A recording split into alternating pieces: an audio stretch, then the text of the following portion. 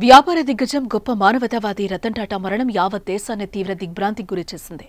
అనారోగ్యానికి గురైన ఆయనను ముంబైలోని బ్రీచి క్యాండీ ప్రైవేట్ ఆసుపత్రికి తరలించగా ఐసీయూలో చికిత్స పొందుతూ బుధవారం రాత్రి కన్నుమూశారాయన రతన్ టాటా మృతిపై ప్రపంచవ్యాప్తంగా ప్రముఖులు సంతాపం వ్యక్తం చేస్తున్నారు. రతన్ టాటా మృతిపై ముఖ్యమంత్రి చంద్రబాబు నాయుడు సంతాపాన్ని తెలిపారు. కొందరు మాత్రమే వెళుతూ వెళుతూ ఈ భూమిపై తమ అడుగుజాడలు వదిలి వెళ్తారని తమ దూరదృష్టి సమగ్రతలతో రతన్ టాటా అదే చేశారని అన్నారు. రతన్ టాటా వంటి ఒక గొప్ప వ్యాపారవేత్తనే కాదు గొప్ప మానవతావాదిని కోల్పోయామని ఆవేదన వ్యక్తం చేశారు ఆయన.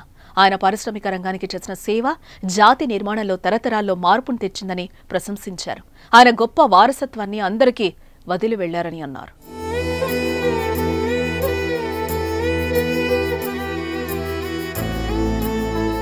విలువలు మానవత్వంతో కూడిన వ్యాపారాన్ని నిర్మించిన మహా దార్శనికుడు రతన్ టాటా అని మంత్రి లోకేష్ అన్నారు.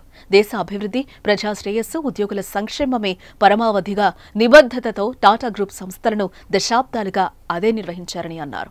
దేశంలో ఏ మూల ఏ విపత్తు సంభవించినా భారీ విరాళంతో స్పందించే మానవత్వపు హృదయం రతన్ టాటాదని అన్నారు. నిజాయితీని నిస్వార్థపరత్వాన్ని టాటా బ్రాండ్గా చేసిన రతన్ టాటాకు మరణం లేదని ఆయన ప్రజల హృదయాల్లో చిరస్థాయిగా నుంచి ఉంటారని అన్నారు. లోకేష్. అలాగే ఏపీ కేబినెట్ భేటీలో రతన్ టాటా మృతి పట్ల సంతాపం వ్యక్తం చేశారు. సంతాపం తర్వాత కేబినెట్ సమావేశం ముగించారు. రతన్ టాటా చిత్రపటానికి సీఎం చంద్రబాబు అలాగే లోకేష్ పూలమాల వేసి నివాళులర్పించారు. రతన్ టాటా అంత్యక్రియలకు కూడా చంద్రబాబు హాజరవుతున్నారు. మంత్రి నారా లోకేష్ కూడా చంద్రబాబు వెంట ముంబై పయనమయ్యారు. ముంబైలోని ఎన్సీపీఏ గ్రౌండ్లో రతన్ టాటా పార్థివ దేహాన్ని ప్రజల సందర్శనార్థం ఉంచారు.